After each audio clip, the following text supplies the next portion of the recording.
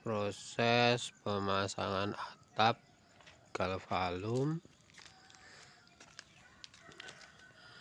dan pemasangan dinding. Jendela. Jadi masih dibutuhkan berapa biaya untuk biaya tukang dan pengerasan lantai? Seluas 100 40 meter persegi. Untuk pesantren Kipa Rahmatul Quran monggo.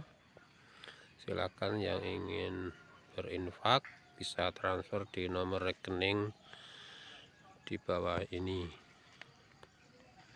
Semoga amal jariah panjenengan memudahkan dalam penyelesaian gedung santri ini